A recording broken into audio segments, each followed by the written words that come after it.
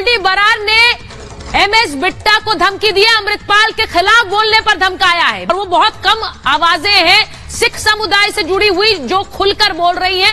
उसमें एमएस बिट्टा साहब हैं और बिट्टा साहब को धमकियाँ मिल रही हैं। शरीर जख्मी हुआ, मैं उस वक्त नहीं घबराया मैं इनसे घबराऊँगा। यह कर्तव्य है मेरा देश के लिए, यह कौम के लिए, देश के लिए, मातृभूमि के लिए, तिरंगे झंडे के लिए। मेरा कर्तव्य है इन चीज़ों को मैं इतना सीरियस लेता ही नहीं। मैं तो मर चुका। मैं तो बोनस पे हूँ। मेरी ज़िंदगी तो बोनस है।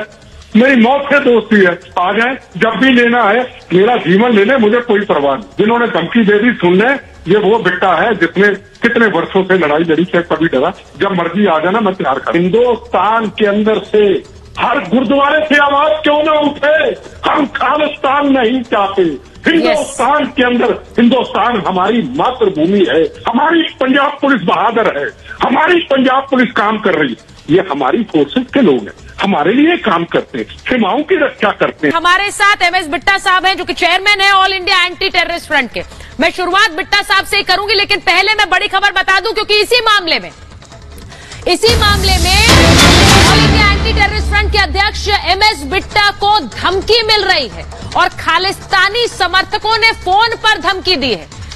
गोल्डी बरार ने एमएस बिट्टा को धमकी दी है अमृतपाल के खिलाफ बोलने पर धमकाया है। मैं ये बड़ी खबर आपको बता रही हूँ। यानी कि जो लोग अमृतपाल के खिलाफ बोलेंगे, और वो बहुत कम आवाज़ें हैं, सिख समुदाय से जुड़ी हुई जो खुलकर बोल रही हैं, उसमें एमएस बिट्टा साहब हैं, और बिट्टा साहब को धमकियाँ मिल रही हैं। एमएस बिट्टा साहब को सबसे पहले स्क्रीन पर लीजिए, मैं उन्हीं से शुरुआत कर रही हूँ। बिट्टा साहब, जरा बताइए, एक तरफ़ सर्च ऑपरेशन चल रहा है, लेकिन दूसरी तरफ़ ये कौन लोग हैं जो आपको धमका रहे हैं अमृतपाल के खिलाफ बोलने पर? पहली तो कुकरेता जी मैं आपको बता दूँ इन धमकियों से मैं डरने वाला नहीं जब उस वक्त इतने बम, इतने गोलियाँ चालीस चालीस किलो आरडीएक्स, सौ किलो आरडीएक्स चला। इतने लोग शहीद हुए, मेरा शरीर जख्मी हुआ। मैं उस वक्त नहीं गिरा घबराया, मैं इनसे घबराऊँगा। यह कर्तव्य है मेरा देश के लिए, यह कौम के लिए, देश के लिए, मातृभूमि के लिए, तिरंगे झंडे के लिए। मेरा कर्तव्य है इन चीज़ों को मैं इतना सीरियस लेता ही नहीं। मैं तो मर चुका, मैं तो बोनस पे हूँ, मेरी ज़िंदगी तो बोनस है। मेरी मौत से दोस्ती है। आ जाए, जब भी लेना है, मेरा जीवन लेने, मुझे कोई परवाह नहीं। दूसरी बात इन चीज़ को छोटा समझता हूँ। इनको जो जो सुनने वाले हैं, जिन्होंने धमकी दे दी सुनने ये वो बिट्टा है जिसने कितने वर्षों से लड़ाई लड़ी से कभी डरा। जब मर्ज़ी आ जाना, मैं तैयार खड़ा हूँ। दूसरी बात, आपने कोकरेता जी बहुत अच्छी बातें कही। सब खालसा की। बहुत अच्छी बात कही जो हमें पहले निचोड़ निकाल के करी मैं अपना शुक्रिया अदा करता हूँ। सबसे बड़ा सवाल है पहले तो इसने अपने साथी को छुड़ाने के लिए सहारा लिया गुरु ग्रंथ साहब का कपट बनाया उसको छुड़ा लिया। देखो कितना चलाक और कितना शरारती दिमाग है। भाग करके जगह जगह पे भाग करके पुलिस देखो आप हम पुलिस को गलत नहीं कह सकते। पुलिस अपना कर्तव्य पूरा कर रही है। मैं पंजाब पुलिस को अच्छी तरह जानता हूँ। सहमत हूँ सर। मैं पंजाब के अंदर अभी हूँ। देखो अब कितना शरारती चतुर दिमाग जो कल अकाल तखत साहब के जथेदार के खिलाफ आवाज़ उठाता था अब उनके तरले मार रहा है कि सरबत खालसा बुला लो। सरबत खालसा किसी और के लिए नहीं बीच में शरारत कि जो मेरे साथ पकड़े गए वो हाँ। और मैं मैं उसमें बच जाऊँ। और क्या होगा अगर सरबत खालसा बाईजी में बुलाया जाता है? हाँ, लाखों की भीड़ तो होगी इसके कारण नहीं होगी। वो तेरह अप्रैल को गुरु महाराज सत्य पातशाह के कारण होगी। वहाँ ये हज़ारों लोग चारों तरफ़ के घेर के बीच में जिंदाबाद करेंगे बीच में नारे लगाएँगे।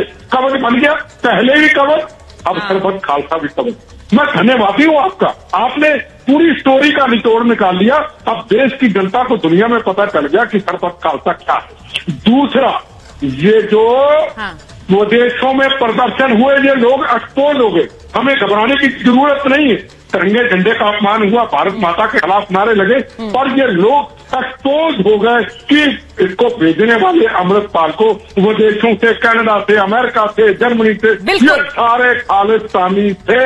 ये हमें नुकसान ज़रूर हुआ है। और आपको भी विदेशों से ही धमकी आ रही है बिट्टा साहब। मैं बिट्टा साहब आपसे पूछ रही हूँ आपको तो इस मामले में धमकियाँ विदेशों से ही आ रही हैं। और इसीलिए हम कह रहे हैं कि क्या एक पूरा का पूरा प्लान पहले से बिठाया गया? यहाँ पर जब ये व्यक्ति आया इसने तो सिख धर्म का पालन भी नहीं करता था ये। जो तस्वीरें पहले आई और जिस तरह के ऑडियो वीडियो आए हैं अमृतपाल के ये तो सिख धर्म का पालन भी नहीं कर रहा था और अचानक से ये सबसे बड़ा ठेकेदार बन गया। देखो जी हमारी समाज की मर्यादा होती है अमृत छका होता है। कई मर्यादाएँ बड़ी सख्त होती हैं उस मर्यादा को आम सिख पूरा नहीं कर सकता हम पूरा नहीं कर सकते। हम जब भी कोई सिख समाज के ऊपर बात करते हैं मैं पहले कहता हूँ मैं पापी हूँ मैं गुनागार सिख हूँ मैं ऐसा नहीं हूँ। मैं अपने आप को पापी गुनागार कहता हूँ। अब ये इसकी छह महीने या सात महीने या आठ महीने पहले की तस्वीर देखो। इसके बाल कटे हुए, दाढ़ी कटी हुई। हमारे ऐसा नहीं होता। आता है और पोशाक पहनता है, दाढ़ी बड़ी करता है, अमृत छक लेता है और सिख कौम का हिंदू बन जाता है। तो मानने वाले भी तो बेवकूफ़ हैं। ये हम क्यों ना कहें? वो भी तो बेवकूफ़, पंजाब के अकाल तखत साहब के जथेदार हैं। हम उनको मानते हैं, हम उनके आगे सिर झुकाते हैं। और बड़े प्रवचनकारी हैं डडरिया वाला साहब है। हम उनके आगे सिर झुकाते क्यों माना जाए इसको? क्यों उस वक्त हम सबने ध्यान नहीं दिया?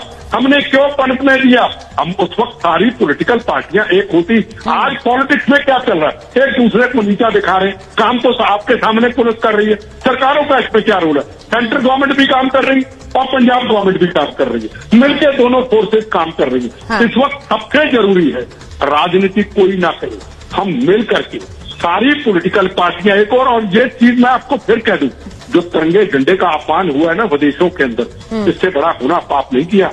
और कई लोग ऐसे हैं जिनके खिलाफ आवाज़ उठती है पर उन्होंने कभी ये नहीं कहा भारत माता मैं बिट्टा साहब एक और चीज़ पूछ रही हूँ। जैसा आपने कहा कि विदेशों से आपको धमकी मिल रही है ये जो पूरा एक नेक्सस है इसको सपोर्ट करने वाला यहाँ पर भी कई ऐसे नेता हैं जो अब कह रहे हैं कि भाई ये देखिए ये तो हमारा अपना है ये वाला एक नैरेटिव भी पुश किया जा रहा है कि देखिए ये जो बात कह रहा है उसमें उसके बारे में सोचिए उसको उस पर गौर करिए। ये कौन लोग हैं जो इस तरह के सिंपथाइजर बनकर सामने आ जाते हैं?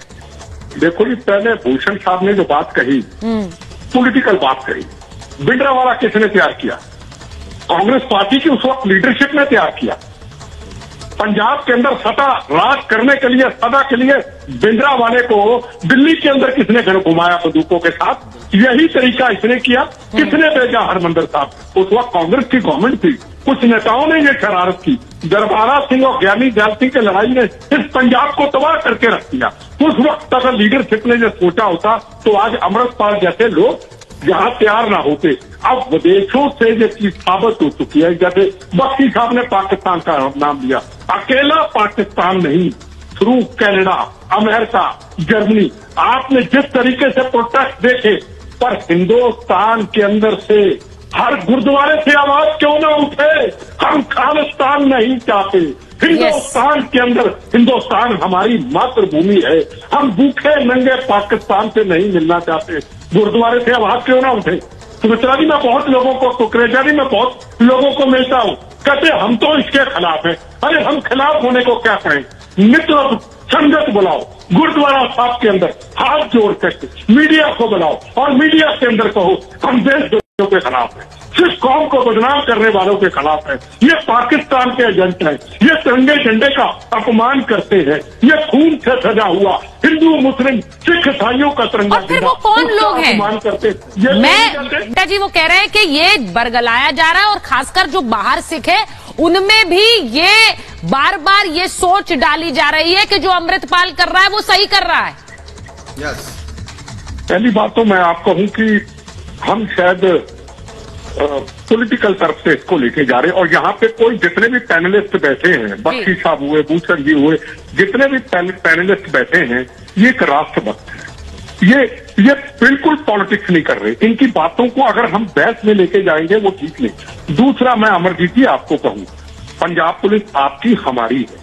ठीक है ना? आपकी सरकार है आपको मुबारक है।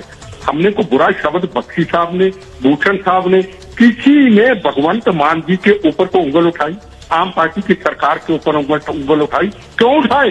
अभी भी कई जगह पे बैठ करके आया हूँ। हमारी पंजाब पुलिस बहादुर है, हमारी पंजाब पुलिस काम कर रही है। अगर मैं पॉलिटिक्स करूँगा, बख्शी साहब करेंगे तो हम कहेंगे, पंजाब पुलिस नलायक है, सरकार। हमने तो नहीं कहा, पर आप बार बार एक चीज़ का ज़िक्र करते, कई बार कई चैनलों पे सुन चुका।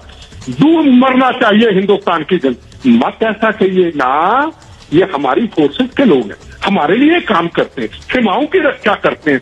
अपने आप को तो हम अच्छा करें।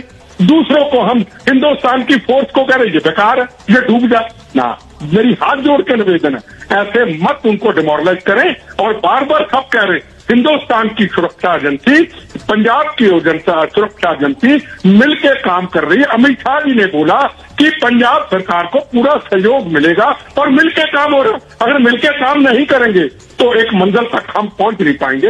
ऐसे शब्दों का इस्तेमाल फोर्सेस के बारे में मत कहिए फोर्सेस पंजाब की हो या दिल्ली की हो। पंजाब के लोग दिल्ली डेपुटेशन पे जाते हैं, फिर वो भी गलत होंगे। मेरी हाथ जोड़ के निवेदन है। हम इसके मुद्दे तक जाए। बिट्टा साहब जल्दी से बोलिए मेरे पास समय बिल्कुल नहीं है आप बोलना चाह रहे जल्दी से बोलिए सर। ना ना ना मैं मैं मित्रा जी बिल्कुल इस चीज़ के खिलाफ हूँ कि ये पाकिस्तान जाए। हाँ। पाकिस्तान जो पंजाब से भाग के गए वो क्या ये करतूते कर रहे हैं? हाँ। यही करतूते कर रहे हैं पा, पाकिस्तान से कैनेडा कैनेडा से जर्मनी अमेरिका फिर फंडिंग फिर पंजाब के अंदर आतंकवाद। बिल्कुल पाकिस्तानी। ये हिंदुस्तान में पकड़ा जाए और इसके खिलाफ पर कार्रवाई हो और इसको भेजे आसाम में पंजाब में रखा जाए तो लगता है आतंकवाद फैलाना खालिस्तान की बात करनी और